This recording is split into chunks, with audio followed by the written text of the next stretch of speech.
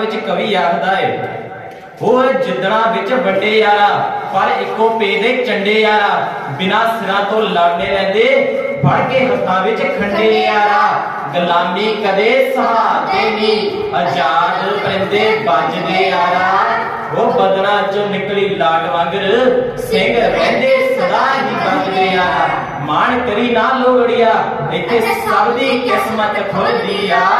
ਚਾਹੇ ਚੜ ਜੇ ਗੁੱਡੀ ਅੱਜ ਸਮਾਨੇ ਇੱਕ ਦਿਨ ਆਣ ਪੈਰਾਂ ਵਿੱਚ ਰੁੜਦੀ ਆ ਇੱਕ ਦਿਨ ਆਣ ਪੈਰਾਂ ਵਿੱਚ ਰੁੜਦੀ ਆ ਹੋਈਆਂ ਭੁੱਲਾ ਚੁੱਕਾ ਦੀ ਖਿਮਾ ਵਸਣਾ ਅਣਜਾਣ ਬੱਚੇ ਸਮਝ ਕੇ ਮਾਫ ਕਰਨਾ ਹੁਣ ਮੇਰੇ ਸਾਥੀ ਨਿਹੰਗਾ ਸਿੰਘਾਂ ਵਾਲਾ ਜਕਾਰ ਲਾਉਣਗੇ ਜੀ ਗੱਜ ਕੇ ਜਗਾਰਾ ਜਾਵੇ ਨਿਹਾਲ ਹੋ ਜਾਵੇ ਸਤਿ ਸ਼੍ਰੀ ਅਕਾਲ ਚਿੱਟੀਆਂ ਬਾਜਾਂ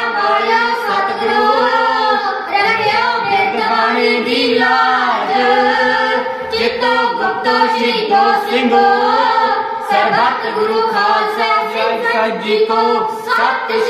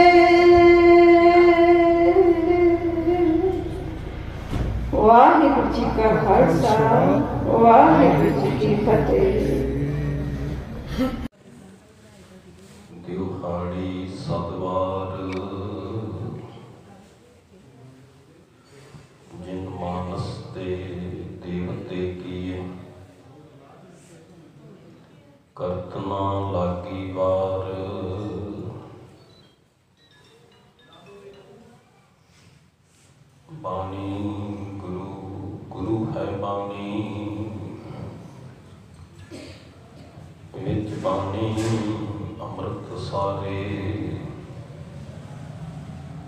ਗੁਰ ਬਾਣੀ ਕਹੈ, ਸੇਵਕ ਜਨ ਮਾਨੈ। ਪ੍ਰਤੱਖ ਗੁਰੂ ਨਿਸਤਾਰੇ। ਕਬੀਰ ਜਿਸ ਮਾਨੈ ਤੇ ਜਗ ਡਰੈ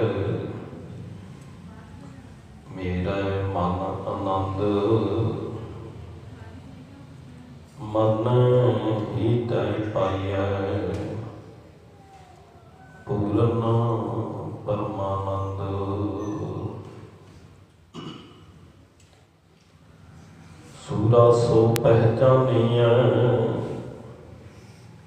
ਜੋ ਲੜੈ ਦੀਨ ਕੇ ਹੇਤ ਪੁਰਜਾ ਪੁਰਜਾ ਘਟ ਮਰੈ ਕਬਹੁ ਨਾ ਛਾਡੈ ਖੇਤ ਸੂਰਾ ਸੋ ਪਹਿਚਾਨੀਐ ਜੋ ਲੜੈ ਦੀਨ ਕੇ ਹੇਤ ਪੁਰਜਾ ਪੁਰਜਾ ਕਟ ਮਰੈ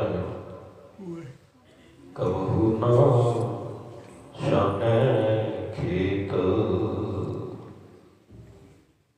ਜੁਗ ਜੁਗ ਟਲ ਜਬਰ ਤਖਤ ਦੇ ਮਾਲਕ ਧੰਨ ਧੰਨ ਸਾਹਿਬ ਸ੍ਰੀ ਗੁਰੂ ਗ੍ਰੰਥ ਸਾਹਿਬ ਜੀ ਮਹਾਰਾਜ ਸਤਿਗੁਰਾਂ ਦੇ ਚਰਨਾਂ ਵਿੱਚ ਬਿਰਾਜਮਾਨ ਸਾਜੀ ਨਵਾਜੀ ਸਾਧ ਸੰਗਤ ਜੀਓ ਆਓ ਕੁਝ ਕਹਿਣ ਤੋਂ ਪਹਿਲਾਂ ਅਸੀਸ ਬਖਸ਼ੋ ਆਖੋ ਜੀ ਵਾਹਿਗੁਰੂ ਜੀ ਕਾ ਖਾਲਸਾ। ਵਾਹਿਗੁਰੂ ਜੀ ਕੀ ਫਤਿਹ। ਛੋਟੇ ਛੋਟੇ ਬੱਚਿਆਂ ਕੋਲੋਂ ਆਪ ਜੀ ਨੇ ਕਵਿਤਾਵਾਂ ਦੇ ਰੂਪ ਵਿੱਚ ਇਤਿਹਾਸ ਨੂੰ ਸਰਵਨ ਕੀਤਾ ਹੈ। ਸਮੂਹ ਪ੍ਰਬੰਧਕ ਵੀਰਾਂ ਦਾ ਵੱਖ-ਵੱਖ ਗੁਰਦੁਆਰੇ ਸਹਿਬਾਨਾਂ ਦੇ ਪ੍ਰਬੰਧਕ ਸਹਿਬਾਨ ਸਮੂਹ ਸੰਗਤ ਪਿੰਡ ਰੋੜਕਾ ਕਲਾਂ। ਸਾਰਿਆਂ ਦਾ ਹੀ ਬਹੁਤ ਬਹੁਤ ਧੰਨਵਾਦ ਹੈ ਜਿਨ੍ਹਾਂ ਨੇ ਸਤਿਗੁਰੂ ਜੀ ਦੀ ਬਖਸ਼ਿਸ਼ ਪ੍ਰਾਪਤ ਕਰਨ ਵਾਸਤੇ ਇਹ ਉਦਮ ਤੇ ਉਪਰਾਲਾ ਕੀਤਾ ਹੈ। ਉਹਨਾਂ ਮਹਾਨ ਸ਼ਹੀਦਾਂ ਨੂੰ ਸਮਰਪਿਤ ਹੋ ਕੇ ਬੈਠੇ ਆ ਸਾਕਾ ਚਮਕੌਰ ਸਾਹਿਬ ਅਤੇ ਸਾਕਾ ਸਰਹੰਦ। ਆਓ ਇੱਕ ਵਾਰ ਫੇਰ ਸਾਰੀ ਸੰਗਤ ਗੁਰੂ ਚਰਨਾਂ ਦਾ ਧਿਆਨ ਧਰ ਕੇ ਮਗਰ ਮਗਰ ਬੋਲਣ ਦਾ ਯਤਨ ਕਰਿਓ। ਤੇਗ ਬਹਾਦਰ ਸਿਮਰਿਆ ਤੇਗ ਬਹਾਦਰ ਸਿਮਰਿਆ ਤੇਗ ਬਹਾਦਰ ਸਿਮਰਿਐ ਤੇਗ ਬਹਾਦਰ ਸਿਮਰਿਐ। ਤੇਗ ਬਹਾਦਰ ਸਿਮਰਿਆ ਤੇਗ ਬਹਾਦਰ ਸਿਮਰਿਆ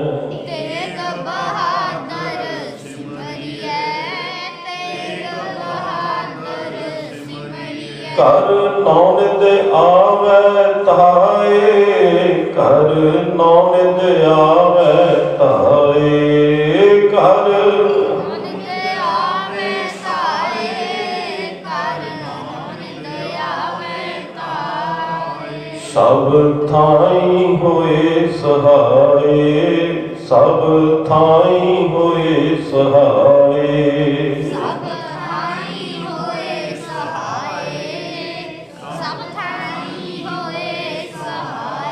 सूरा सो पहचानिए सूरा सो पहचानिए।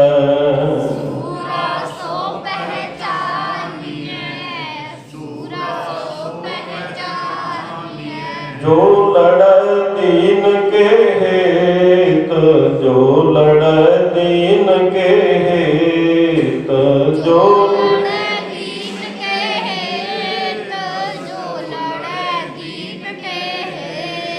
ਪੁਰਜਾ ਪੁਰਜਾ ਕੱਟ ਮਰੈ ਪੁਰਜਾ ਪੁਰਜਾ ਕੱਟ ਮਰੈ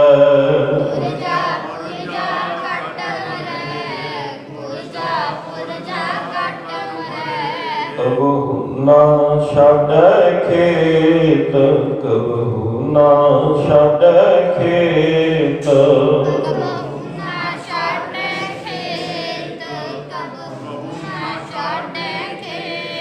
ਧੰਨ ਗੁਰੂ ਗੋਬਿੰਦ ਸਿੰਘ ਸਾਹਿਬ, ਧੰਨ ਗੁਰੂ ਗੋਬਿੰਦ ਸਿੰਘ ਸਾਹਿਬ। ਗੁਰੂ ਗੋਬਿੰਦ ਸਿੰਘ ਸਾਹਿਬ ਧੰਨ ਗੁਰੂ ਗੋਬਿੰਦ ਸਿੰਘ ਸਾਹਿਬ, ਧੰਨ ਗੁਰੂ ਗੋਬਿੰਦ ਸਿੰਘ ਸਾਹਿਬ।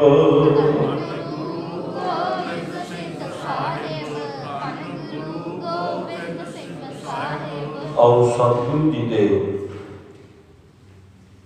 ਮੁਬਾਰਕ ਚਰਨਾਂ ਦੇ ਨਾਲ ਜੁੜਨ ਵਾਸਤੇ ਅਤੇ ਆਪਣੇ ਵਿਰਸੇ ਤੋਂ ਜਾਣੂ ਹੋਣ ਵਾਸਤੇ ਉਹਨਾਂ ਮਹਾਨ ਸ਼ਹੀਦਾਂ ਨੂੰ ਅੱਜ ਚੇਤੇ ਕਰ ਰਹੇ ਹੋ ਕੱਲ ਵੀ ਆਪਾਂ ਵਿਚਾਰ ਕੀਤੀ ਸੀ ਕਿ ਕਿਸ ਤਰ੍ਹਾਂ ਜਿਹੜੀ ਟੱਕਰ ਧੰਨ ਗੁਰੂ ਨਾਨਕ ਸਾਹਿਬ ਜੀ ਦੇ ਸਮੇਂ ਬਾਬਰ ਕਿਆਂ ਦੇ ਨਾਲ ਆਰੰਭ ਹੋਈ ਹੈ। ਇੱਕ ਪਾਸੇ ਨਿਰਮਲ ਪੰਥ ਹੈ, ਜਿਹੜਾ ਕਲਗੀਧਰ ਪਾਤਸ਼ਾਹ ਜੀ ਦੇ ਸਮੇਂ ਖਾਲਸਾ ਪੰਥ ਦੇ ਰੂਪ ਵਿੱਚ ਸੰਸਾਰ ਦੇ ਵਿੱਚ ਪ੍ਰਸਿੱਧ ਹੋਇਆ। ਤੇ ਦੂਸਰੇ ਪਾਸੇ ਬਾਬਰ ਕੇ ਜ਼ੁਲਮ ਦੀ ਹਨੇਰੀ ਇਸ ਧਰਤੀ ਤੇ ਚਲਾ ਰਹੇ ਹੈ ਅਕਸਰ ਅੱਜ ਸਵੇਰੇ ਵੀ ਮੈਂ ਗੱਲ ਕਰ ਰਿਹਾ ਸੀ ਕਿ ਜਿਹੜੀ ਕੁਰਸੀ ਹੈ ਨਾ ਜੀ, ਇਹ ਕਿਤੇ ਨਾ ਕਿਤੇ ਬੰਦੇ ਨੂੰ ਧਰਮ ਤੋਂ ਡੇਗ ਦਿੰਦੀ ਹੈ। ਚੰਗਾ ਭਲਾ ਬੰਦਾ ਧਰਮੀ ਹੋਵੇ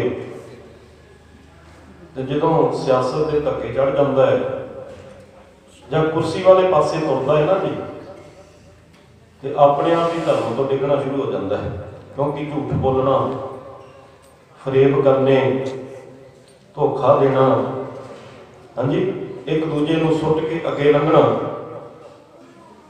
ਇਹ ਪਿਆਰਿਓ ਪੂਰੀ ਸਿਆਸਤ ਅਤੇ ਜਿਹੜੇ ਕੇਵਲ ਧੰਦੇ ਤੱਕ ਸੀਮਤ ਹੁੰਦੇ ਨੇ, ਉਹਨਾਂ ਲੋਕਾਂ ਦੇ ਹਿੱਸੇ ਵਿੱਚ ਆਉਂਦਾ ਹੈ।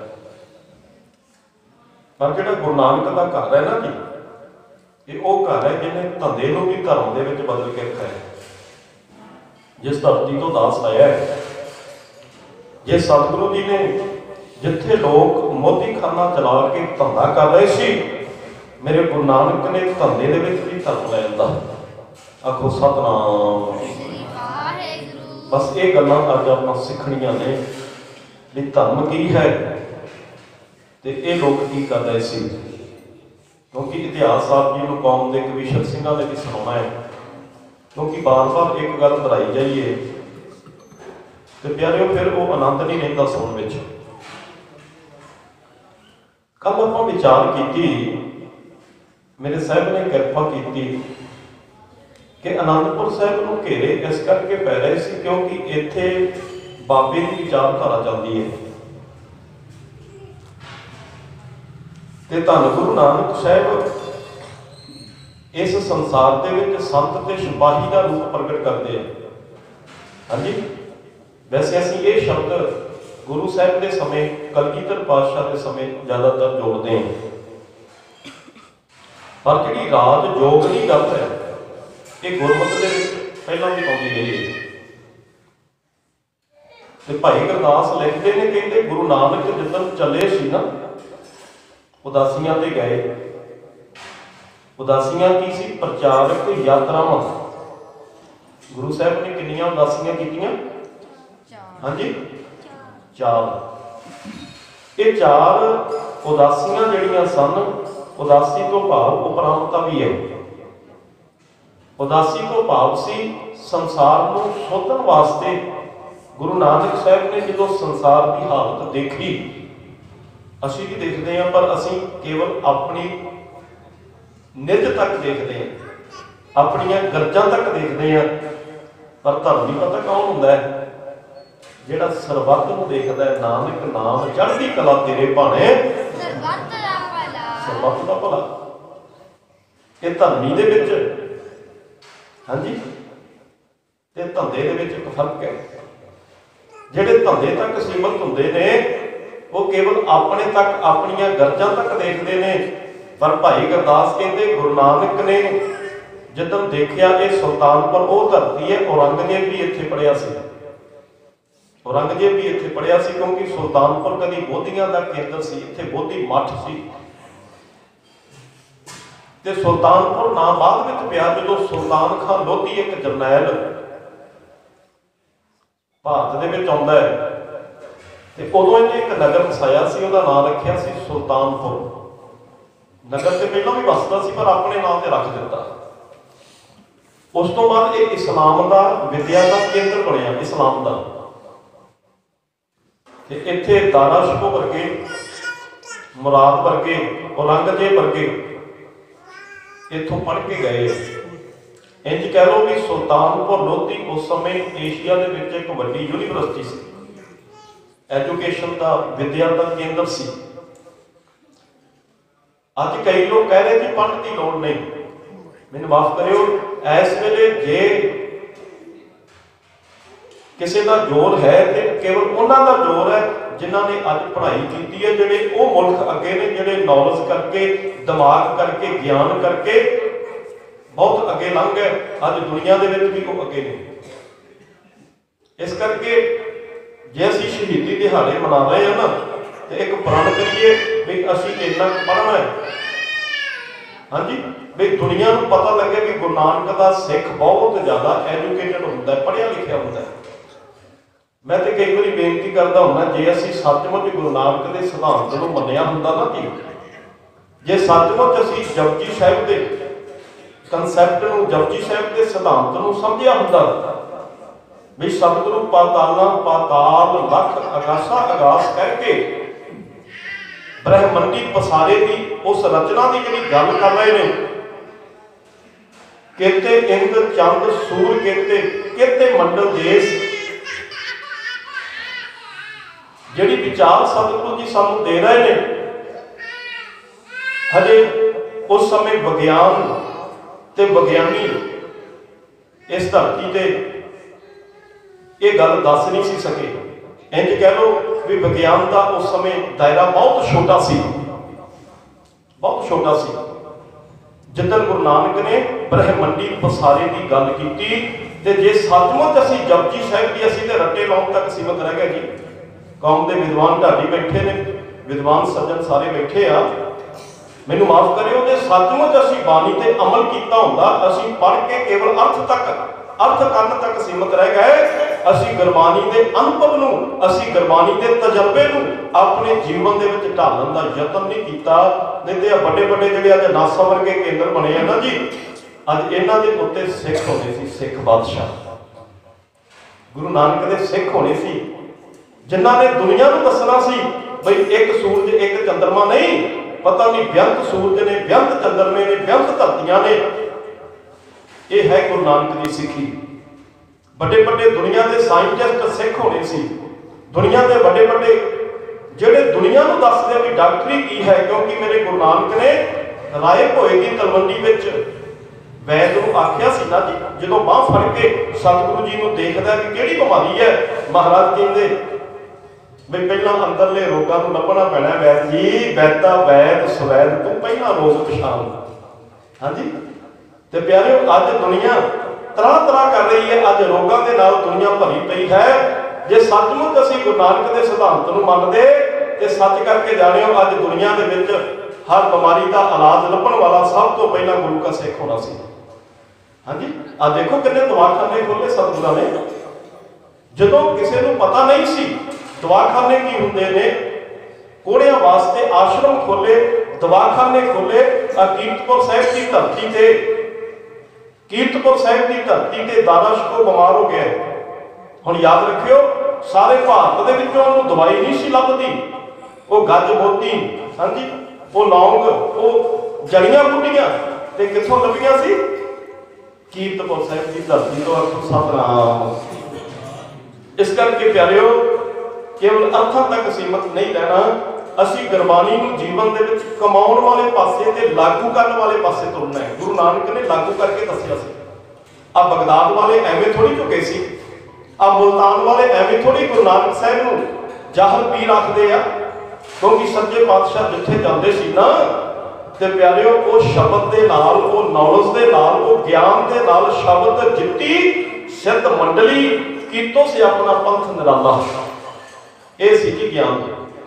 ਤੇ ਕੱਲ ਆਪਾਂ ਵਿਚਾਰ ਕਰ ਰਹੇ ਸੀ ਵੀ ਅਨੰਦਪੁਰ ਸਾਹਿਬ ਦੀ ਧਰਤੀ ਤੇ ਗੁਰੂ ਸਾਹਿਬ ਨੇ ਕਈ ਗ੍ਰੰਥਾਂ ਦੇ ਉਲੱਥੇ ਕਰਵਾਏ। ਅਨੰਦਪੁਰ ਸਾਹਿਬ ਦੀ ਧਰਤੀ ਤੇ ਕੱਲ ਆਪਾਂ ਵਿਚਾਰ ਕੀਤੀ ਹੈ ਨਾ ਜੀ? ਪੌਂਟਾ ਸਾਹਿਬ 52 52 ਕਵੀ, ਲਖਾਰੀ, ਵਿਦਵਾਨ ਰੱਖੇ, ਜਿਹੜੇ ਹਰ ਭਾਸ਼ਾ ਦੇ ਨਾਲ ਸੰਬੰਧਿਤ ਸਨ, ਹਰ ਭਾਸ਼ਾ ਤੋਂ ਜਾਣੂ ਸਨ, ਕੀ ਹਿੰਦੀ, ਕੀ ਅਰਬੀ, ਕੀ ਫਾਰਸੀ। ਪਿਆਰਿਓ, ਵੱਖ-ਵੱਖ ਕੇਵਲ ਪੰਜਾਬੀ ਨਹੀਂ ਹਰ ਭਾਸ਼ਾ ਦੇ ਨਾਲ ਸੰਬੰਧਿਤ ਵਿਦਵਾਨਾਂ ਨੂੰ ਸਤਿਗੁਰੂ ਜੀ ਨੇ ਰੱਖਿਆ। ਤੇ ਪਿਆਰਿਓ, ਪੌਂਟਾ ਸਾਹਿਬ ਦੀ ਧਰਤੀ ਤੇ ਆਨੰਦਪੁਰ ਸਾਹਿਬ ਦੀ ਧਰਤੀ ਤੇ ਲਿਖਣ ਦੇ ਕੰਮ ਚੱਲਦੇ ਰਹਿੰਦੇ ਸੀ, ਆਖੋ ਸਤਨਾਮ। ਕੋਈ ਇੱਕ ਗ੍ਰੰਥ ਨਹੀਂ। ਇੱਥੇ ਸਰਸਾ ਦੇ ਵਿੱਚ ਬਹੁਤ ਸਾਰੇ ਗ੍ਰੰਥ ਜਿਹੜੇ ਸਨ, ਉਹ ਪਾਣੀ ਦੇ ਵਿੱਚ ਵਹਿ ਗਏ। ਮੈਂ ਇਸ ਕਰਕੇ ਬੇਨਤੀ ਕਰ ਰਿਹਾ ਗੁਰੂ ਸਾਹਿਬ ਦਾ ਇਹ ਪੱਖ ਵੀ ਜਾਣਨ ਦੀ ਕੋਸ਼ਿਸ਼ ਕਰੀਏ ਵੀ ਸੱਚਮੁੱਚ ਗੁਰੂ ਸਾਹਿਬ ਕਰਦੇ ਕੀ ਪਏ ਸੀ ਜਦੋਂ ਅਨੰਦਪੁਰ ਸਾਹਿਬ ਨੂੰ ਘੇਰੇ ਪੈ ਰਹੇ ਉਹ ਮਨੁੱਖੀ ਅਧਿਕਾਰਾਂ ਲਈ ਜੂਝਦੇ ਪਏ ਸੀ। ਅੱਜ ਸੰਗੀਤ ਵਿਦਿਆ ਖਤਮ ਹੋ ਰਹੀ ਸੀ। ਭਾਰਤ ਦੀ ਧਰਤੀ ਤੋਂ ਔਰੰਗਜ਼ੇਬ ਨੇ ਜਦੋਂ ਐਲਾਨ ਕਰ ਦਿੱਤਾ ਤੇ ਸੰਗੀਤਕਾਰਾਂ ਵਾਸਤੇ ਗੁਰੂ ਗੋਬਿੰਦ ਸਿੰਘ ਦਰਵਾਜ਼ੇ ਖੋਲ ਕੇ ਬੈਠੇ ਆ। ਉਸ ਸਮੇਂ ਭਾਈ ਨੰਦ ਲਾਲ ਵਰਗੇ ਗੁਰੂ ਗੋਬਿੰਦ ਸਿੰਘ ਪਾਤਸ਼ਾਹ ਦੀ ਸ਼ਰਨ ਵਿੱਚ ਆਉਂਦੇ ਆ। ਅਨੰਦਪੁਰ ਸਾਹਿਬ ਦੇ ਦਰਵਾਜ਼ੇ ਸਾਰਿਆਂ ਵਾਸਤੇ ਖੁੱਲੇ ਸੀ, ਜਿੱਥੇ ਸਾਰਿਆਂ ਨੂੰ ਰਾਜਨੀਤਿਕ ਗੁਲਾਮੀ ਵਿੱਚੋਂ ਮੁਕਤ ਕੀਤਾ ਜਾਂਦਾ ਸੀ। ਧਾਰਮਿਕ ਗੁਲਾਮੀ ਧਾਰਮਿਕ ਗੁਲਾਮੀ ਵੀ ਸੀ ਜੀ, ਜਿਹੜੀ ਪੁਜਾਰੀ ਸ਼੍ਰੇਣੀ ਨੇ ਪੈਦਾ ਕੀਤੀ, ਕਿਤੇ ਨਾ ਕਿਤੇ ਅੱਜ ਵੀ ਉਹ ਸਮਾਜ ਵਿੱਚ ਬਣੀ ਹੋਈ ਹੈ। ਯਾਦ ਰੱਖਿਓ, ਗੁਰੂ ਨਾਨਕ ਦੇ ਘਰ ਨੇ ਇਹ ਗੁਲਾਮੀ ਦੇ ਵਿੱਚੋਂ ਚਾਹੇ ਰਾਜਨੀਤਿਕ ਗੁਲਾਮੀ ਸੀ, ਚਾਹੇ ਧਾਰਮਿਕ ਗੁਲਾਮੀ ਸੀ, ਚਾਹੇ ਵਿਚਾਰਾਂ ਦੀ ਗੁਲਾਮੀ ਸੀ, ਚਾਹੇ ਕਰਨੀ ਕਥਨੀ ਤੇ ਕਹਿਣੀ ਦੀ ਗੁਲਾਮੀ ਸੀ, ਸਤਿਗੁਰੂ ਜੀ ਨੇ ਇਸ ਗੁਲਾਮੀ ਦੇ ਵਿੱਚੋਂ ਇੱਥੋਂ ਤੱਕ ਖਾਣ ਪੀਣ ਤੇ ਭਾਸ਼ਾ ਦੀ ਵੀ ਗੁਲਾਮੀ ਸੀ। ਹਾਂਜੀ? ਜਿਹਦਾ ਰਾਜ ਹੁੰਦਾ ਸੀ, ਗੁਲਾਮ ਲੋਕ ਉਹਦੀ ਭਾਸ਼ਾ ਬੋਲਦੇ ਸੀ।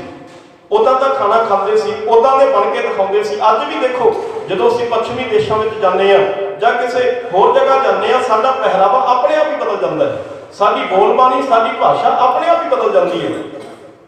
ਗੁਰੂ ਗੋਬਿੰਦ ਸਿੰਘ ਪਾਤਸ਼ਾਹ ਨੇ ਇਹ ਬਖਸ਼ਿਸ਼ਾਂ ਸਾਡੇ ਤੇ ਕੀਤੀਆਂ। ਸਾਨੂੰ ਆਜ਼ਾਦੀ ਦਾ ਰਸਤਾ ਦਿਖਾਇਆ।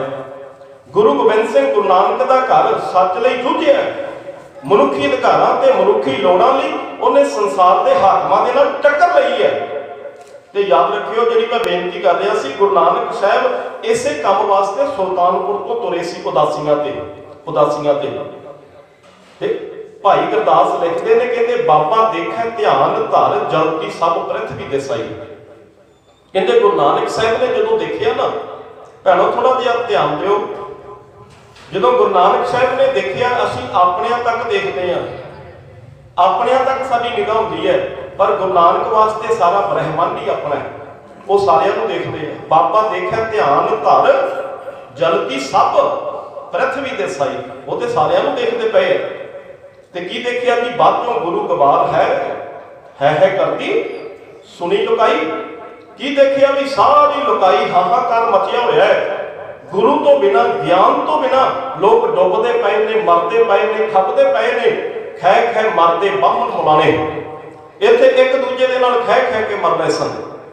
ਉਸ ਸਮੇਂ ਸਤਿਗੁਰੂ ਜੀ ਨੇ ਆਸਾ ਹੱਥ, ਕਿਤਾਬ, ਕੱਛ, ਕੁੱਜਾ, ਬਾਗ, ਮੁਸੱਲਾ ਧਾਰੀ ਗੁਰੂ ਨਾਨਕ ਸਾਹਿਬ ਨੇ ਹੱਥ ਦੇ ਵਿੱਚ ਡੰਡਾ ਲਿਆ, ਜਿਹਨੂੰ ਸ਼ਕਤੀ ਆਖਿਆ ਜਾਂਦਾ ਹੈ। ਹਾਂਜੀ? ਤੇ ਇੱਕ ਝੋਲੇ ਦੇ ਵਿੱਚ ਇੱਕ ਕਿਤਾਬ ਪਾਈ ਹੈ। ਉਹ ਕਿਤਾਬ ਕਾਦੀ ਸੀ? ਜਿਹਦੇ ਉੱਤੇ ਬਾਣੀ ਲਿਖੀ ਸੀ, ਆਖੋ ਸਤਨਾਮ। ਇਹ ਦੋ ਚੀਜ਼ਾਂ ਸੰਸਾਰ ਦੇ ਵਿੱਚ ਮਹਾਰਾਜ ਲੈ ਕੇ ਤੁਰੇ। ਹਾਂਜੀ, ਭਗਤੀ ਤੇ ਸ਼ਕਤੀ। ਹਾਂਜੀ? ਇੱਕ ਪਾਸੇ ਪੋਥੀ ਹੈ, ਉਹ ਕਿਤਾਬ ਹੀ ਇੱਕ ਦਿਨ ਪੋਥੀ ਸਾਹਿਬ ਹੋ ਗਈ ਤੇ ਉਹ ਡੰਡਾ ਹੀ ਛੇਵੇਂ ਪਾਤਸ਼ਾਹ ਦੇ ਸਮੇਂ ਪਿਆਰਿਓ, ਤਲਵਾਰ ਦਾ ਰੂਪ ਧਾਰਨ ਕਰ ਗਿਆ ਦੋ ਤਲਵਾਰੀ ਵਧੀਆਂ ਇੱਕ ਮੀਰੀ ਦੀ, ਇੱਕ ਪੀਲੀ ਦੀ, ਇੱਕ ਅਜ਼ਮਤ ਦੀ, ਇੱਕ ਰਾਜ ਦੀ। ਖੈਰ, ਆਓ, ਦਸਵੇਂ ਪਾਤਸ਼ਾਹ ਦਾ ਸਮਾਂ ਆਇਆ। ਕੱਲ ਆਪਾਂ ਵਿਚਾਰ ਕਰ ਰਹੇ ਸੀ। ਅਨੰਦਪੁਰ ਸਾਹਿਬ ਛੱਡ ਦਿੱਤਾ ਹੈ। ਸਰਸਾ ਤੇ ਪਹੁੰਚ ਗਏ। ਕਮਸਾਨ ਦਾ ਜੰਗ ਹੋ ਰਿਹਾ ਹੈ। ਚੁੱਪੀ ਰਹੀ ਸਰੋਤ ਪ੍ਰਭ ਚਰਨਨ ਮਹਿ ਪਰ ਕਹਿੰਦੇ, ਸਤਿਗੁਰੂ ਜੀ ਦੀ ਜਿਹੜੀ ਸੁਰਤ ਹੈ ਨਾ ਜੀ ਉਹ ਅਕਾਲ ਪੁਰਖ ਦੇ ਧਿਆਨ ਦੇ ਵਿੱਚ ਚੁੱਪੀ ਹੋਈ ਹੈ। ਅਕਾਲ ਪੁਰਖ ਦੀ ਬੰਦਗੀ ਦੇ ਵਿੱਚ ਇੰਨਾ ਕੁ ਖੁੱਬੇ ਹੋਏ ਨੇ। ਪਿਆਰਿਓ, ਸੰਸਾਰ ਦੇ ਵਿੱਚ ਬੜਾ ਕੁਝ ਹੋਇਆ। ਹੱਸਦੇ, ਵਸਦੇ ਆਨੰਦਪੁਰ ਸਾਹਿਬ ਨੂੰ ਛੱਡ ਕੇ ਤੁਰਨਾ ਪਿਆ। ਜਿੱਥੇ ਬਾਪੂ ਦਾ ਸੀਸ ਆਇਆ ਸੀ, ਸੀਸ ਦਾ ਸੰਸਕਾਰ ਕੀਤਾ ਸੀ, ਉਹ ਧਰਤੀ ਛੱਡ ਦਿੱਤੀ। ਅੱਖਾਂ ਦੇ ਸਾਹਮਣੇ ਭਾਈ ਫਤਿਹ ਸਿੰਘ 50 ਸਿੰਘਾਂ ਦੇ ਨਾਲ ਸ਼ਹੀਦ ਹੋ ਗਿਆ। ਹੈ। ਬਾਬਾ ਬਚਿੱਤਰ ਸਿੰਘ ਬਾਰੇ ਪਤਾ ਲੱਗਾ, ਜ਼ਖਮੀ ਹੋਇਆ ਪਿਆ। ਹੈ। ਅਗਲੇ ਪਾਸਿਓਂ ਹਮਲਾ ਹੋ ਰਿਹਾ ਸੀ ਤੇ ਸਤਿਗੁਰੂ ਜੀ ਦੇ ਪਿਆਰੇ ਸਿੱਖ ਜੂਝਦੇ ਪਏ ਆ। ਸੂਰਾ ਸੋ ਪਹਿਚਾਨੀਐ ਜੋ ਲੜੈ ਦੀਨ ਕੇ ਹੇਤ। ਪੁਰਜਾ ਪੁਰਜਾ ਕੱਟ ਮਰੇ ਕਬੂ ਨਾ ਛੱਡੈ, ਖੇਤ। ਬਾਬਾ ਜੀਵਨ ਸਿੰਘ ਰੰਗਰੇਟੇ ਗੁਰੂ ਕੇ ਬੇਟੇ, ਪਿਆਰਿਓ 100 ਸਿੰਘਾਂ ਦਾ ਜਥਾ ਲੈ ਕੇ ਉਹ ਵੀ ਬੈਰੀ ਦਲ ਦੇ ਨਾਲ ਲੋਹਾ ਲੈ ਰਹੇ ਆ। ਇੱਥੇ ਸੱਚੇ ਪਾਤਸ਼ਾਹ ਜੀ ਨੇ ਕਹਿੰਦੇ, ਆਸਾ ਕੀ ਬਾਤ ਦਾ ਕੀਰਤਨ ਸੁਣਿਆ। ਇੱਥੋਂ ਸੱਸਾਂ ਨੂੰ ਪਾਰ ਕੀਤਾ, ਪਰਿਵਾਰ ਤਿੰਨ ਹਿੱਸਿਆਂ ਵਿੱਚ ਵੰਡਿਆ ਗਿਆ। ਬਹੁਤ ਸਾਰਾ ਸਮਾਨ ਸੱਸਾਂ ਦੀ ਭੇਟ ਚੜ ਗਿਆ ਹੈ, ਬਹੁਤ ਸਾਰੇ ਸਿੰਘ ਸ਼ਹਾਦਤ ਦਾ ਜਾਮ ਪੀ ਗਏ। ਸਤਿਗੁਰੂ ਜੀ ਇੱਥੋਂ ਕੋਟਲਾ ਨਿਹੰਖਾਂ ਦੇ ਘਰੇ ਗਏ। ਹੁਣ ਇਤਿਹਾਸ ਦੱਸਦਾ ਵੀ ਇੱਥੇ ਕੁਝ ਸਮਾਂ ਸਤਿਗੁਰੂ ਜੀ ਰੁਕੇ ਆ ਤੇ ਮੇਰੇ ਸਾਹਿਬ ਨੂੰ ਪਤਾ ਲੱਗਾ ਵੀ ਭਾਈ ਅਜਿੰਦਰ ਸਿੰਘ ਕੱਲ ਆਪਾਂ ਵਿਚਾਰ ਕੀਤੀ, ਭਾਈ ਉਦੇ ਸਿੰਘ ਤੇ ਭਾਈ ਬਚਿੱਤਰ ਸਿੰਘ ਇਹ ਦੋਨੋਂ ਭਰਾ ਸੀ। ਭਾਈ ਮਨੀ ਸਿੰਘ ਦੇ ਪੁੱਤਰ ਸੀ। ਇਹ ਤਿੰਨੋਂ ਪਿਓ ਪੁੱਤ ਕਲਗੀਧਰ ਪਾਤਸ਼ਾਹ ਦੇ ਨਾਲ ਜਾ ਰਹੇ ਨੇ ਇਸ ਸਮੇਂ। ਭਾਈ ਮਨੀ ਸਿੰਘ ਵੀ ਨਾਲ ਹੈ, ਜਿਨ੍ਹਾਂ ਦੀ ਡਿਊਟੀ ਲਾਈ ਸਤਿਗੁਰੂ ਜੀ ਨੇ ਗੁਰੂ ਕੇ ਮਹਿਲ ਮਾਤਾ ਸੁੰਦਰ ਕੌਰ ਤੇ ਮਾਤਾ ਸਾਹਿਬ ਕੌਰ, ਜਿਨ੍ਹਾਂ ਨੂੰ ਲੈ ਕੇ ਹਰਦੁਆਰ ਥਾਣੀ ਇਹ ਦਿੱਲੀ ਪਹੁੰਚਦੇ, ਕਿਉਂਕਿ ਇਹਨਾਂ ਦੇ ਸਹੁਰੇ ਜਿਹੜੇ ਆ, ਉਹ ਦਿੱਲੀ ਦੇ ਵਿੱਚ ਸੀ। ਭਾਈ ਮਨੀ ਸਿੰਘ ਜੀ ਦੇ ਹੁਣ ਭਾਈ ਉਦੇ ਸਿੰਘ ਭਾਈ ਮਨੀ ਸਿੰਘ ਜੀ ਦਾ ਪੁੱਤਰ ਸ਼ਹੀਦ ਹੋ ਗਿਆ। ਤੇ ਦੂਸਰੇ ਪਾਸੇ ਬਾਬਾ ਬਚਿੱਤਰ ਸਿੰਘ ਮਲਕਪੁਰ ਰੰਗੜਾ ਦੇ ਸਥਾਨ ਤੇ ਜਿੱਥੇ ਜੰਗ ਹੋਈ ਹੈ। ਇਤਿਹਾਸ ਦੱਸਦਾ ਹੈ, ਜੰਗ ਦੇ ਵਿੱਚ ਬੁਰੀ ਤਰ੍ਹਾਂ ਜ਼ਖਮੀ ਹੋ ਗਏ। ਇਹ ਉਹ ਭਾਈ ਬਚਿੱਤਰ ਸਿੰਘ ਹੈ ਜਿਹਨੇ ਮਸਤ ਹਾਥੀ ਨੂੰ ਕਦੀ ਜਦੋਂ ਕਿਲਾ ਲੋਹਗੜ੍ਹ ਤੇ ਹਮਲਾ ਕੀਤਾ ਸੀ ਨਾ ਦੁਨੀ ਚੰਦ ਮਸੰਦ ਵਰਗੇ ਭੱਜ ਗਏ ਤੇ ਮੇਰੇ ਸਾਹਿਬ ਨੇ ਆਖਿਆ ਸੀ, ਭਾਈ ਬਚਿੱਤਰ ਸਿੰਘ, ਸਿੱਖਾਂ ਨੇ ਪੁੱਛਿਆ, ਮਹਾਰਾਜ, ਹੁਣ ਕੌਣ ਲੜੇਗਾ? ਮੇਰੇ ਸਾਹਿਬ ਕਹਿਣ ਲੱਗੇ ਕੀ ਹੋਇਆ ਜੇ ਹਾਥੀ ਭੱਜ ਗਿਆ? ਸਾਡੇ ਕੋਲ ਸ਼ੇਰ ਹੈਗਾ ਹੈ। ਆਖੋ, ਸਤਨਾਮ।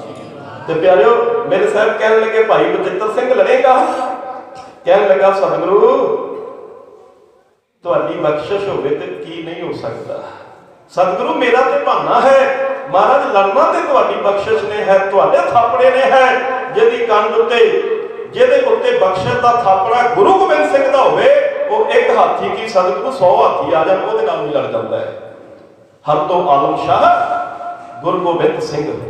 ਬਾਦਸ਼ਾਹ ਦਰਵੇਸ਼ ਗੁਰੂ ਗੋਬਿੰਦ ਸਿੰਘ। ਹੁਣ ਇਤਿਹਾਸ ਦੱਸਦਾ, ਉਹ ਭਾਈ ਬਚਿੱਤਰ ਸਿੰਘ ਤੇ ਭਾਈ ਉਦੇ ਸਿੰਘ ਏਡਾ ਸੂਰਮਾ ਸੀ, ਜਿਹੜਾ ਕੇਸਰੀ ਚੰਦ ਦਾ ਸਿਰ ਲਾਹ ਕੇ ਹਾਥੀ ਤੋਂ ਲੈ ਆਉਂਦਾ ਹੈ। ਪਿਆਰਿਓ, ਇੱਥੇ ਮਹਾਰਾਜ ਨੇ ਬਾਬੇ ਅਜੀਤ ਸਿੰਘ ਦੀ ਡਿਊਟੀ ਲਾਈ। ਬਾਬਾ ਅਜੀਤ ਸਿੰਘ ਜੰਗ ਦੇ ਮੈਦਾਨ ਦੇ ਵਿੱਚ ਫੱਟਰ ਹੋ ਕੇ ਭਾਈ ਬਚਿੱਤਰ ਸਿੰਘ ਜਿੱਥੇ ਲਿਖੇ ਹੋਏ ਆ, ਉਹਨਾਂ ਨੂੰ ਘੋੜੇ ਤੇ ਲੱਦ ਕੇ ਲੈ ਕੇ ਆਏ ਕੋਟਲਾ ਨਿਹੰਖਾਂ ਦੇ ਘਰੇ। ਤੇ ਪਿਆਰਿਓ ਇਤਿਹਾਸ ਬੜਾ ਲੰਬੇਰਾ ਹੈ। ਖੈਰ, ਇੱਥੋਂ ਕਲਗੀਧਰ ਪਾਤਸ਼ਾਹ ਚਮਕੌਰ ਚਲੇ ਗਏ। ਬਾਅਦ ਵਿੱਚ ਫੌਜ ਨੇ ਘੇਰਾ ਪਾਇਆ। ਪਤਾ ਲੱਗਾ ਵੀ ਫੌਜ ਇੱਥੇ ਕਲਗੀਧਰ ਪਾਤਸ਼ਾਹ ਦਾ ਸਿੱਖ ਆਏ ਹੋਏ ਨੇ ਕੋਟਲਾ ਨਿਹੰਖਾਂ ਦੇ ਘਰੇ। ਤੇ ਕੱਲ ਆਪਾਂ ਇਹ ਵਿਚਾਰ ਕੀਤੀ ਸੀ ਵੀ ਇਹਦੀ ਧੀ ਸੀ ਜਿਹੜੀ ਕੋਟਲਾ ਨਿਹੰਖਾਂ ਦੀ। ਬੀਬੀ ਮੁਮਤਾਜ, ਉਹਨੇ ਸਾਰੀ ਉਮਰ ਵਿਆਹ ਨਹੀਂ ਸੀ ਕਰਵਾਇਆ, ਕਿਉਂਕਿ ਕੋਟਲਾ ਨਿਹੰਖਾਂ ਨੇ ਇਹ ਲਫ਼ਜ਼ ਆਖੇ ਸਨ, ਜਦੋਂ ਹਾਕਮਾਂ ਨੇ ਪੁੱਛਿਆ ਵੀ ਉਹ ਸਾਹਮਣੇ ਕਮਰੇ ਵਿੱਚ ਕੌਣ ਹੈ? ਤੇ ਕੋਟਲਾ ਨਿਹੰਖਾਂ ਕਹਿਣ ਲੱਗੇ, ਉੱਥੇ ਮੇਰੀ ਧੀ ਤੇ ਦਮਾਦ ਹੈ, ਧੀ ਤੇ ਦਮਾਦ ਹੈ। ਤੇ ਕਹਿੰਦੇ, ਸਾਰੀ ਉਮਰ ਫਿਰ ਉਸ ਬੀਬੀ ਨੇ ਵਿਆਹ ਨਹੀਂ ਸੀ ਕਰਾਇਆ।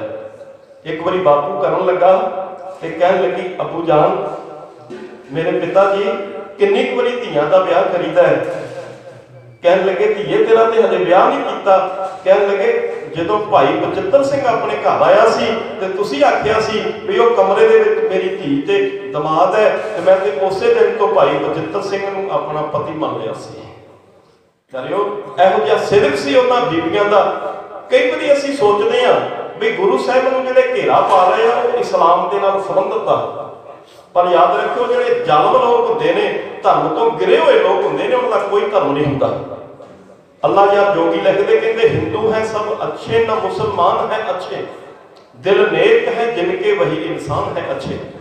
ਜਿਨ੍ਹਾਂ ਦੇ ਦਿਲ ਨੇਕ ਨੇ, ਉਹ ਇਨਸਾਨ ਚੰਗੇ ਹੁੰਦੇ ਨੇ।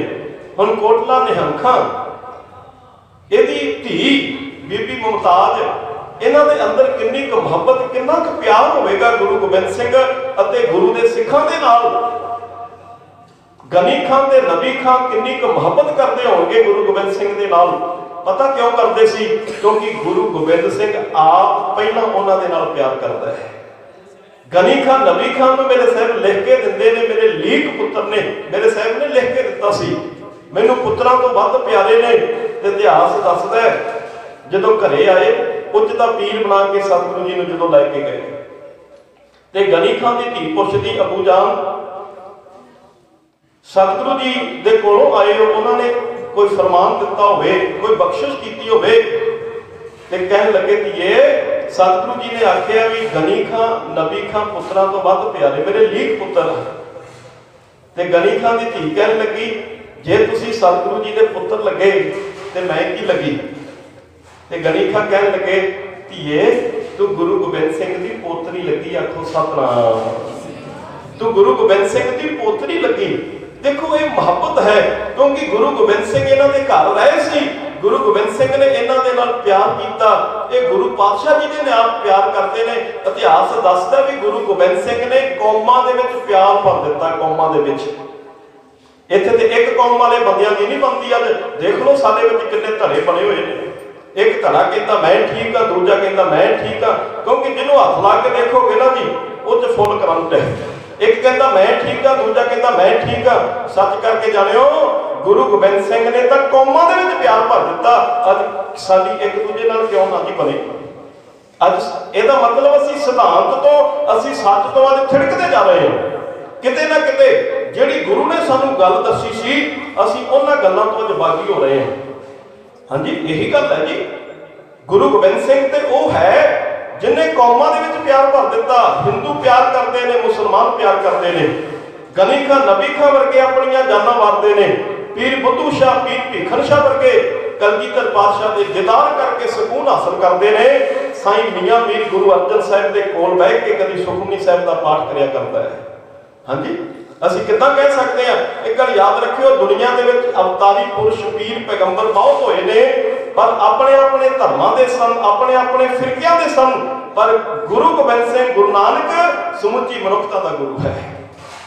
ਜਿਨੇ ਸਾਰੀ ਮਨੁੱਖਤਾ ਨੂੰ ਸਾਂਝੀ ਵਾਲਤਾ ਦਾ ਉਪਦੇਸ਼ ਦਿੱਤਾ, ਜਿਨੇ ਸਾਰਿਆਂ ਨੂੰ ਗੱਲ ਵਕੜੀ ਦੇ ਲੈ ਕੇ ਆਪਣੇ ਖੁੱਲੇ ਵਿਹੜੇ ਦੇ ਵਿੱਚ ਸਾਰਿਆਂ ਨੂੰ ਥਾਂ ਦਿੱਤੀ, ਹਿੰਦੂ, ਤੁਰਕ ਕੋ ਰਾਫ ਜੀ, ਇਮਾਮ, ਸਾਫੀ, ਮਾਨਸ ਕੀ ਜਾਤ ਸਭ ਹੈ ਇੱਕ ਹੈ ਪਹਿਚਾਨ ਜਿਸ ਘਰ ਦੇ ਵਿੱਚੋਂ ਆਵਾਜ਼ ਆਉਂਦੀ ਹੈ, ਸਾਚ ਕਹੋ, ਸੁਣ ਲੇਹੋ ਸਭੈ ਜਿਨ ਪ੍ਰੇਮ ਕੀਓ, ਦਿਨ ਹੀ ਪ੍ਰਭ ਪਾਇਓ।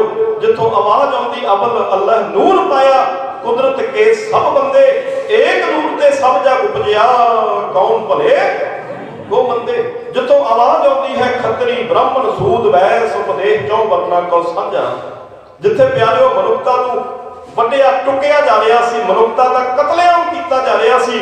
ਮਨੁੱਖਤਾ ਨੂੰ ਧੜਿਆਂ ਦੇ ਵਿੱਚ, ਵੰਡੀਆਂ ਦੇ ਵਿੱਚ ਪਾ ਕੇ ਇੱਕ ਦੂਜੇ ਭਰਾ ਦਾ ਭਰਾ ਵੈਰੀ ਬਣਾ ਦਿੱਤਾ। ਇੱਕ ਦੂਜੇ ਦਾ ਕਤਲ ਕਰ ਰਹੇ ਸੀ। ਉੱਥੇ ਗੁਰੂ ਨਾਨਕ ਦੇ ਘਰ ਨੇ ਪਹਿਲੀ ਵਾਰ ਇਸ ਸੰਸਾਰ ਦੇ ਵਿੱਚ ਸਮੁੱਚੀ ਪ੍ਰithvi ਨੂੰ, ਸਮੁੱਚੀ ਧਰਤੀ ਨੂੰ ਇੱਕ ਪਰਿਵਾਰ ਦਾ ਰੂਪ ਦਿੱਤਾ। ਰਾਤੀ ਰੋਟੀ, ਖਿੱਤੀ ਵਾਰ ਪਵਨ, ਪਾਣੀ, ਅਗਨੀ, ਪਾਤਾਲ, ਜਿਸ ਵਿੱਚ ਧਰਤੀ ਥਾਪ ਰੱਖੀ ਧਰਮਸ਼ਾਲ ਜਿਸ ਵਿੱਚ ਜੀ ਜੁਗਤ ਕੇ ਰੰਗ ਤਿਨ ਕੇ ਨਾਮ ਅਨੇਕ ਅਨੰਤ ਕਰਮੀ ਕਰਮੀ ਹੋਏ ਵਿਚਾਰ ਸੱਚਾ ਆਪ ਸੱਚਾ ਦਰਬਾਰ। ਮਹਾਰਾਜ ਕਹਿੰਦੇ, ਕਿੱਥੇ ਭੁੱਲੇ ਕਰਦੇ ਹੋ?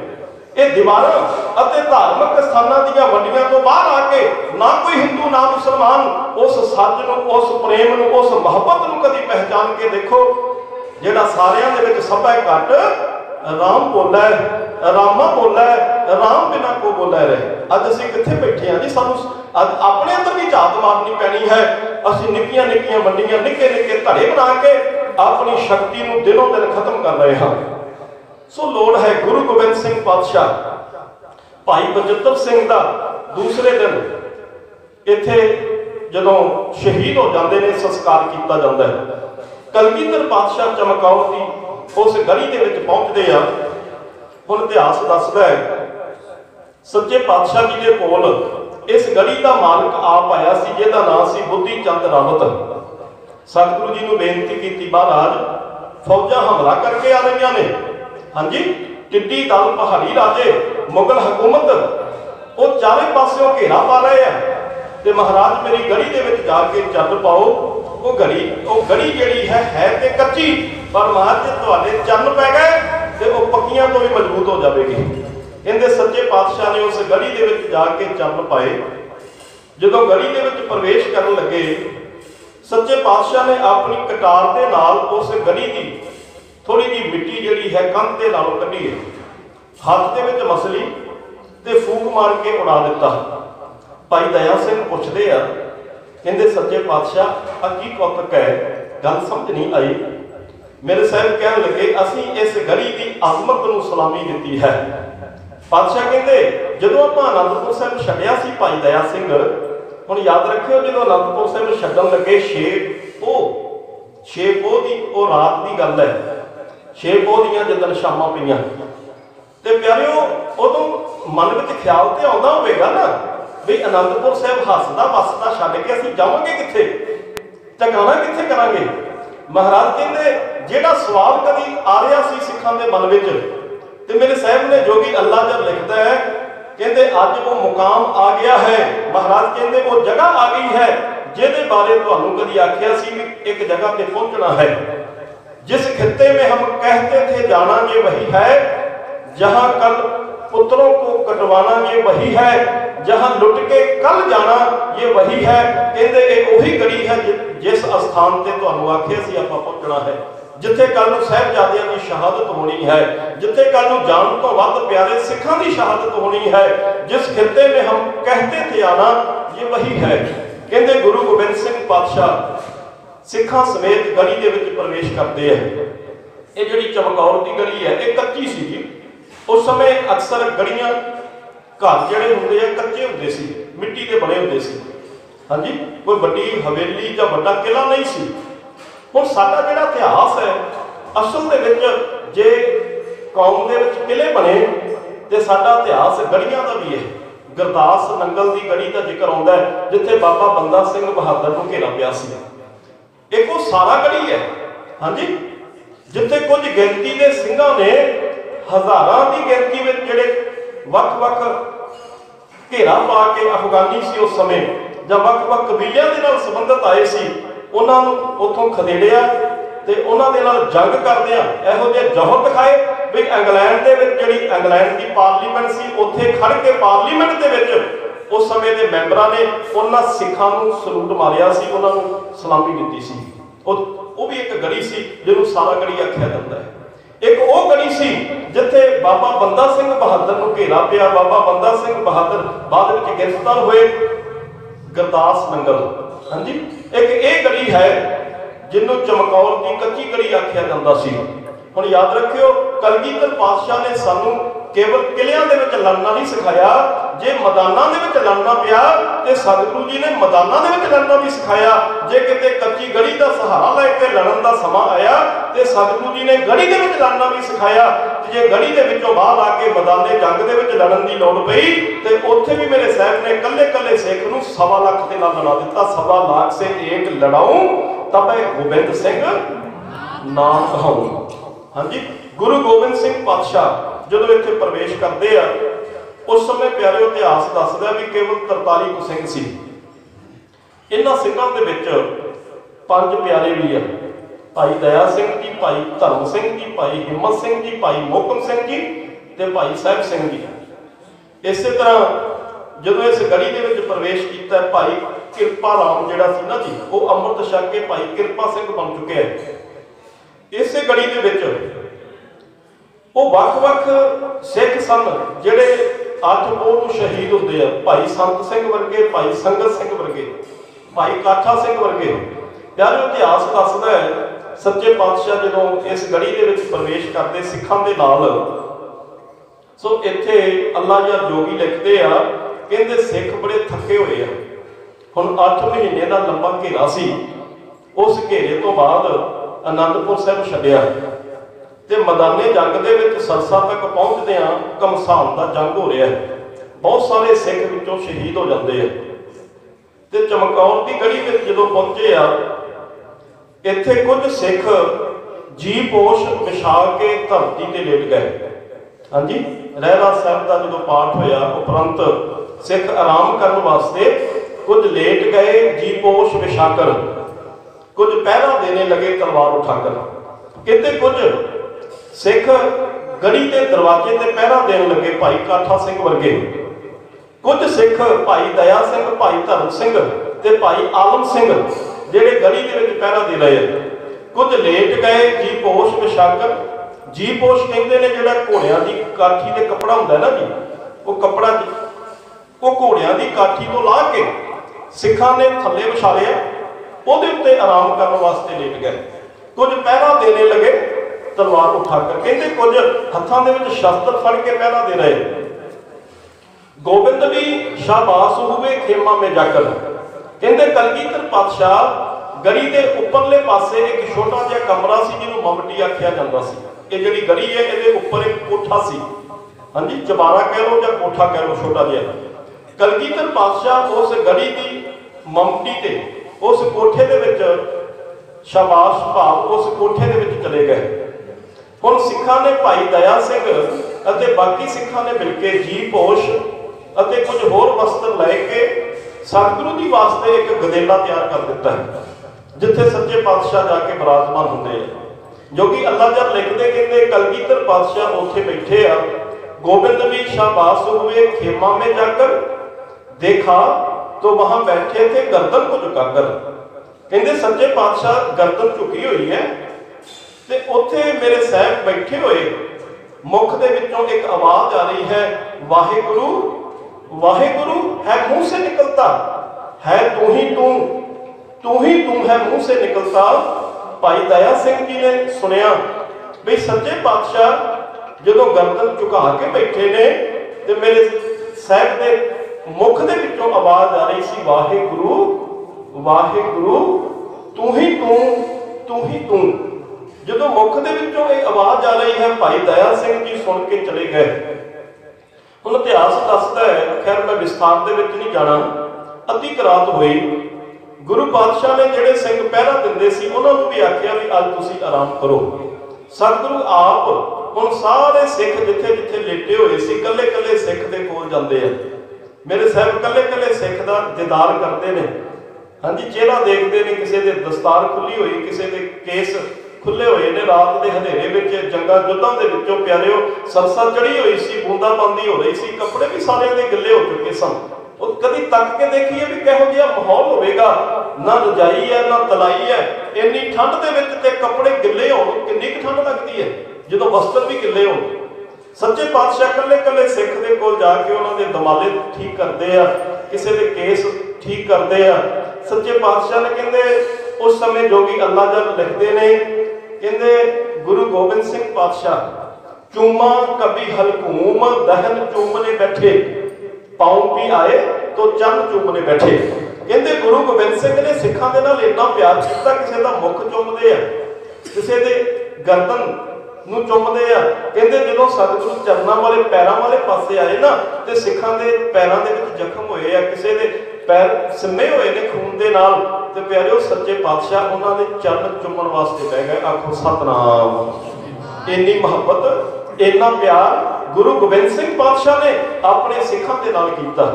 ਮੇਰੇ ਸਾਹਿਬ, ਜਦੋਂ ਅਸੀਂ ਬਾਣੀ ਪੜ੍ਹਦੇ ਤੇ ਮੇਰੇ ਸਾਹਿਬ ਆਖਦੇ ਨੇ, ਸੁਖੀ ਬਸੈ ਮੋਰੋ ਪਰਵਾਰਾ। ਕੌਣ ਕੀ? ਸੇਵਕ, ਸਿੱਖ, ਸਭਾ ਕਰਤਾਰਾ ਗੁਰੂ ਸਾਹਿਬ ਨੇ ਸਿੱਖਾਂ ਦੇ ਨਾਲ ਬੜਾ ਪਿਆਰ ਕੀਤਾ ਹੈ। ਇੱਥੋਂ ਤੱਕ ਮੇਰੇ ਸਾਹਿਬ ਨੇ ਕਹਿ ਦਿੱਤਾ, ਖਾਲਸਾ ਮੇਰੋ ਰੂਪ ਹੈ ਖਾਸ। ਖਾਲਸੇ ਮੈਂ ਹੋ ਕਰੂ ਨਿਵਾਸ।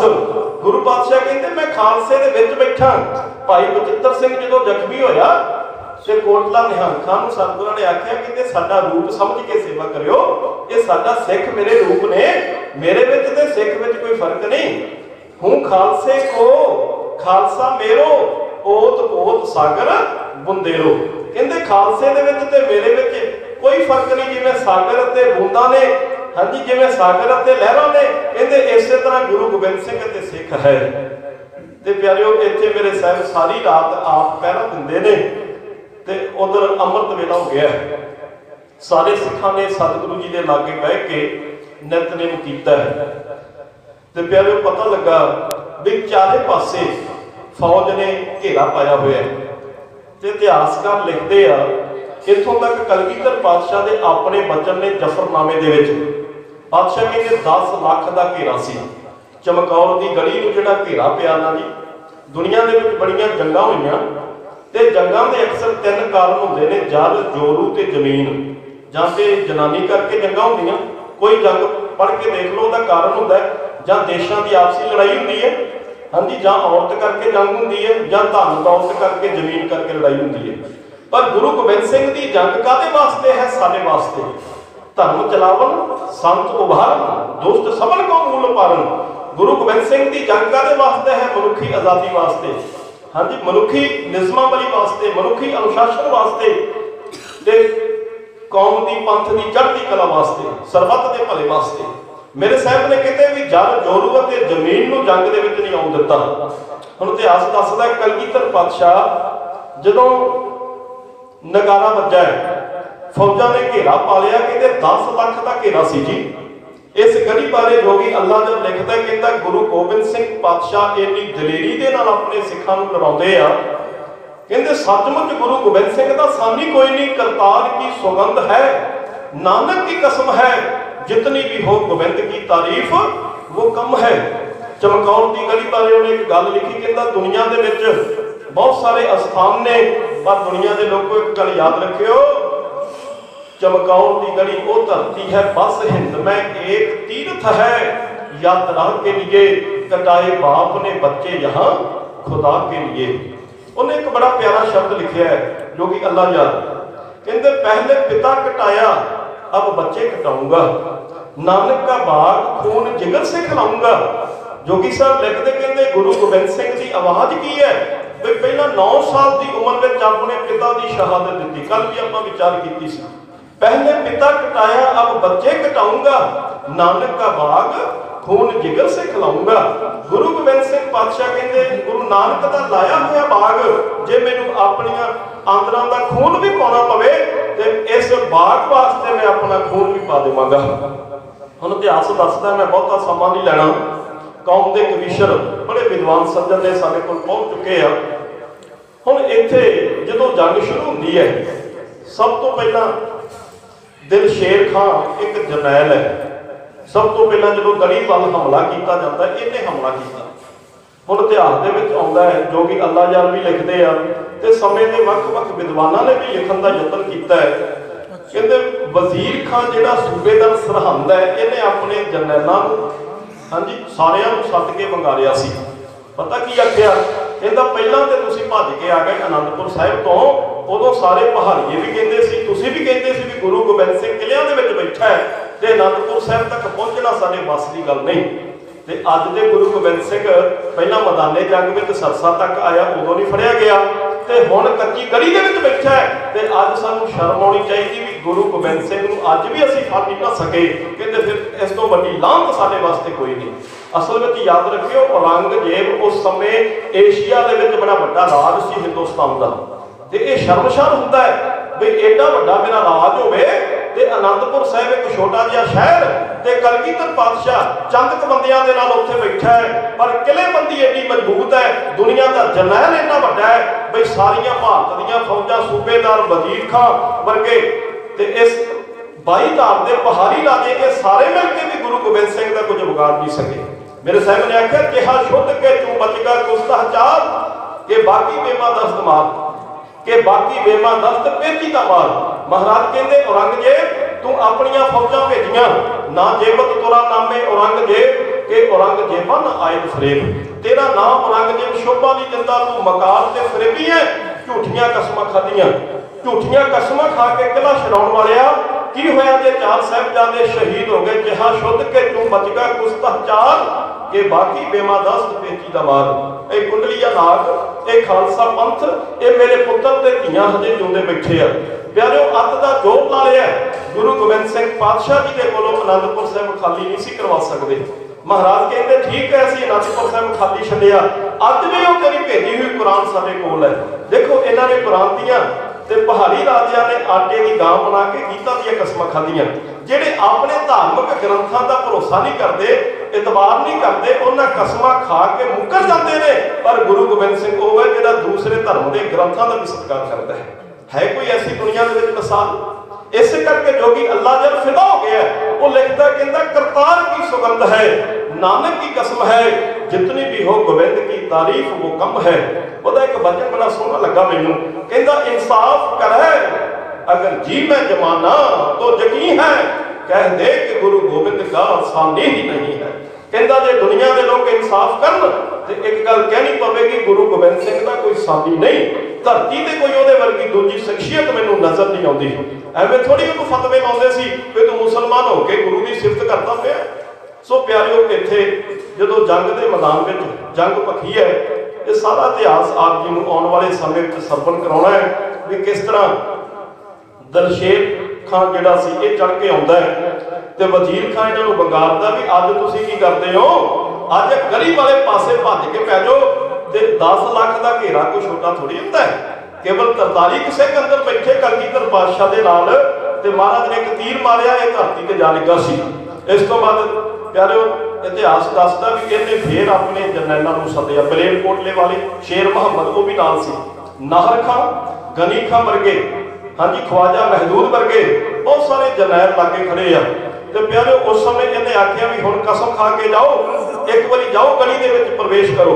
ਉਸ ਸਮੇਂ ਨਾਹਰ ਖਾਨ ਜਿਹੜਾ ਮਲੇਰ ਦਾ ਸੀ, ਇਹ ਵੀ ਉੱਥੋਂ ਦਾ ਸੀ। ਇਤਿਹਾਸ ਦੱਸਦਾ ਵੀ ਇਹਨੇ ਪੌੜੀ ਲਾ ਕੇ ਉਸ ਗਲੀ ਦੇ ਉੱਤੇ ਚੜ੍ਹਨ ਦੀ ਕੋਸ਼ਿਸ਼ ਕੀਤੀ। ਮੇਰੇ ਸਾਹਿਬ ਨੇ ਇੱਕ ਤੀਰ ਮਾਰਿਆ, ਇਹ ਧਰਤੀ ਤੇ ਜਾ ਡਿੱਗਾ ਗਨੀ ਖਾਂ, ਗਲੀ ਤੇ ਚੜ੍ਹਨ ਦੀ ਕੋਸ਼ਿਸ਼ ਕਰਦਾ ਪੌੜੀ ਲਾ ਕੇ। ਸਤਿਗੁਰੂ ਜੀ ਨੇ ਗੁਰਜ ਦੇ ਨਾਲ ਇਹਦਾ ਸਿਰ ਫੇਰ ਦਿੱਤਾ ਹੈ ਤੇ ਪਾਤਸ਼ਾਹ ਕਹਿੰਦੇ, ਇੱਕ ਤੇਰਾ ਜਰਨੈਲ ਇੰਨਾ ਬੁਜ਼ਦਲ ਤੇ ਕਾਇਰ ਸੀ ਖਵਾਜਾ ਮਹਿਦੂਦ। ਕਹਿੰਦੇ, ਉਹ ਗਲੀ ਦੀ ਓਟ ਲੈ ਕੇ, ਕੰਧ ਦਾ ਸਹਾਰਾ ਲੈ ਕੇ ਲੁਕ ਕੇ ਭੱਜ ਜਾਂਦਾ ਹੈ। ਕਹਿੰਦੇ, ਜੇ ਕਿਤੇ ਮੇਰੇ ਸਾਹਮਣੇ ਆ ਜਾਂਦਾ, ਇੱਕ ਤੀਰ ਮੈਂ ਉਹਨੂੰ ਵੀ ਬਖਸ਼ ਦੇਣਾ ਸੀ।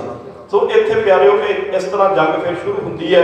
ਸਭ ਤੋਂ ਪਹਿਲਾਂ ਭਾਈ ਹਿੰਮਤ ਸਿੰਘ ਦਾ ਜੱਥਾ ਜੰਗ ਦੇ ਮੈਦਾਨ ਵਿੱਚ ਜਾਂਦਾ ਜਿਹੜੇ ਪੰਜਾਂ ਪਿਆਰਿਆਂ ਦੇ ਵਿੱਚੋਂ ਭਾਈ ਦਇਆ ਸਿੰਘ ਜੀ, ਭਾਈ ਧਰਮ ਸਿੰਘ ਜੀ, ਭਾਈ ਹਿੰਮਤ ਸਿੰਘ, ਭਾਈ ਮੋਕਮ ਸਿੰਘ ਤੇ ਭਾਈ ਸਾਹਿਬ ਸਿੰਘ। ਇਹ ਪੰਜੇ ਪਿਆਰੇ ਸਤਿਗੁਰੂ ਜੀ ਦੇ ਨਾਲ ਸੀ ਚਮਕੌਰ ਦੀ ਗਲੀ ਵਿੱਚ। ਇਸੇ ਤਰ੍ਹਾਂ ਭਾਈ ਮਦਨ ਸਿੰਘ ਤੇ ਭਾਈ ਕਾਠਾ ਸਿੰਘ, ਇਹ ਦੋਨੋਂ ਭਰਾ ਆ। ਜਿਨ੍ਹਾਂ ਨੇ ਗਲੀ ਦੇ ਦਰਵਾਜ਼ੇ ਤੇ ਪਹਿਰਾ ਦਿੱਤਾ।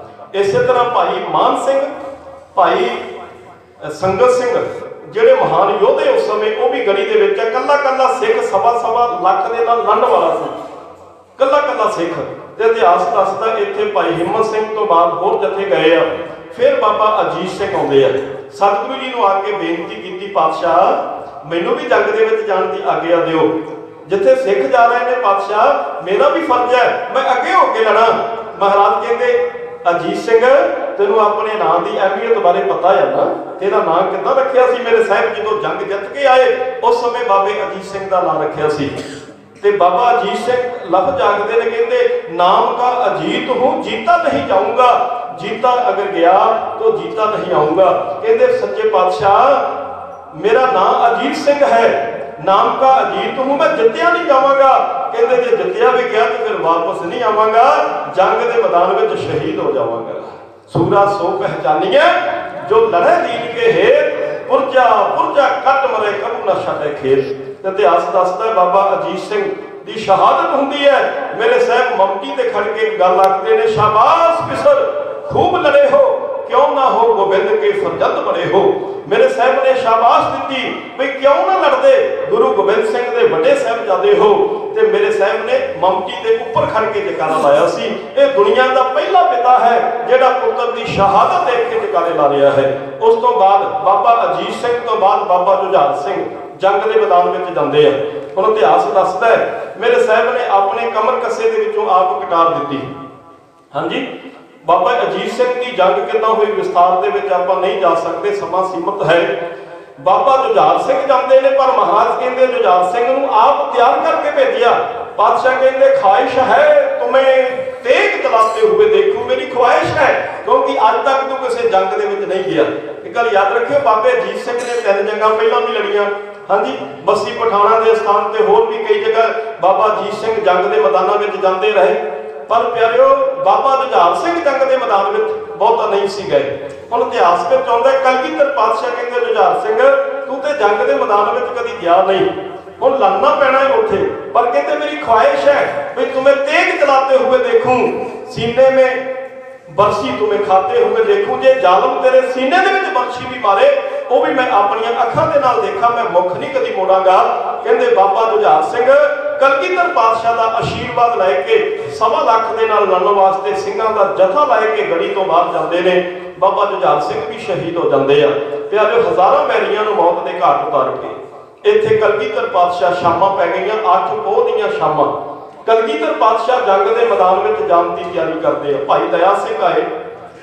ਪੰਜ ਸਿੱਖਾਂ ਨੇ ਮਤਾ ਮੁਕਾਇਆ ਹੈ। ਗੱਲ ਯਾਦ ਰੱਖਿਓ, ਗੁਰੂ ਪਾਤਸ਼ਾਹ ਨੇ ਜਦੋਂ ਧੰਨ ਗੁਰੂ ਗ੍ਰੰਥ ਸਾਹਿਬ ਜੀ ਨੂੰ ਗੁਰਤਾ ਗੱਦੀ ਦਿੱਤੀ ਆ ਨਾ ਜੀ, ਤੇ ਨਾਲ ਇਹ ਵੀ ਆਖਿਆ ਸੀ, ਪੰਥ ਗੁਰੂ ਹੈ। ਹਾਂਜੀ? ਉਸ ਤੋਂ ਪਹਿਲਾਂ ਸਤਿਗੁਰੂ ਜੀ ਤੋਂ 1699 ਨੂੰ ਵਿਸਾਖੀ ਵਾਲੇ ਦਿਨ ਖਾਲਸਾ ਪੰਥ ਦੀ ਸਾਧਨਾ ਕਰਦੇ ਆ। ਉੱਥੇ ਮੇਰੇ ਸਾਹਿਬ ਨੇ ਪੰਜਾਂ ਨੂੰ ਆਪਣਾ ਸਰੂਪ ਬਖਸ਼ ਦਿੱਤਾ ਸੀ। ਤੇ ਸਤਿਗੁਰੂ ਪੰਜਾਂ ਦਾ ਹੁਕਮ ਹਮੇਸ਼ਾ ਮੰਨਦੇ ਸੀ। ਤੇ ਕੱਲਾ ਕੱਲਾ ਸਿੱਖ ਨਹੀਂ ਆਇਆ। ਪੰਜਾਂ ਦੇ ਰੂਪ ਵਿੱਚ ਆ ਕੇ ਉਹਨਾਂ ਨੇ ਕਲਗੀਧਰ ਪਾਤਸ਼ਾਹ ਜੀ ਨੂੰ ਇਹ ਗੱਲ ਆਖੀ ਵੀ ਤੁਸੀਂ ਇਹ ਚਮਕੌਰ ਦੀ ਗਲੀ ਛੱਡ ਕੇ ਚਲੇ ਜਾਓ। ਹਾਂਜੀ? ਮੇਰੇ ਸਾਹਿਬ ਨੂੰ ਕਹਿਣ ਲੱਗੇ ਪਾਤਸ਼ਾਹ ਜੇ ਤੁਸੀਂ ਚਲੇ ਗਏ ਜੇ ਪਾਤਸ਼ਾਹ ਤੁਸੀਂ ਜੰਗ ਦੇ ਮੈਦਾਨ ਵਿੱਚ ਜਾਂਦੇ ਹੋ ਤੇ ਅਸੀਂ ਉਸ ਤੋਂ ਬਾਅਦ ਬਾਅਦ ਜਾਂਦੇ ਹਾਂ, ਅਸੀਂ ਕੀ ਕਰਾਂਗੇ? ਪਾਤਸ਼ਾਹ ਜੇ ਤੁਸੀਂ ਇੱਥੋਂ ਜਾਂਦੇ ਹੋ ਤੁਸੀਂ ਸਾਡੇ ਵਰਗੇ ਹਜ਼ਾਰਾਂ ਸਿੱਖਾਂ ਨੂੰ ਸਾਥ ਸਕਦੇ ਹੋ। ਅਸੀਂ ਲੱਖਾਂ ਮਿਲ ਕੇ ਵੀ ਇੱਕ ਗੁਰੂ ਗੋਬਿੰਦ ਸਿੰਘ ਨਹੀਂ ਬਣਾ ਸਕਦੇ। ਸੱਚ ਹੈ ਪਿਆਰਿਓ, ਜਦੋਂ ਗੁਰੂ ਗੋਬਿੰਦ ਸਿੰਘ ਇੱਥੋਂ ਇਕੱਲੇ ਨਿਕਲੇ, ਭਾਈ ਦਇਆ ਸਿੰਘ, ਭਾਈ ਧਰਮ ਸਿੰਘ, ਭਾਈ ਮਾਨ ਸਿੰਘ ਨਾਲ ਗਏ, ਤੇ ਗੁਰੂ ਗੋਬਿੰਦ ਸਿੰਘ ਨੇ ਬਾਬਾ ਬੰਦਾ ਸਿੰਘ ਬਹਾਦਰ ਵਰਗੇ ਕਿੱਡੇ ਯੋਧੇ ਬਾਅਦ ਵਿੱਚ ਪੈਦਾ ਕੀਤੇ। ਦਮਦਮਾ ਸਾਹਿਬ ਦੀ ਧਰਤੀ ਤੇ ਲੱਖਾਂ ਲੋਕ ਅੰਮ੍ਰਿਤ ਛਕਾ ਕੇ ਗੁਰੂ ਵਾਲੇ ਬਣਾ ਦਿੱਤੇ। ਪਿਆਰਿਓ, ਗੁਰੂ ਗੋਬਿੰਦ ਸਿੰਘ ਪੰਥ ਦਾ ਹੁਕਮ ਮੰਨ ਕੇ ਫਿਰ ਇੱਕ ਚਮਕੌਰ ਦੀ ਗੜੀ ਛੱਡਦੇ ਨੇ।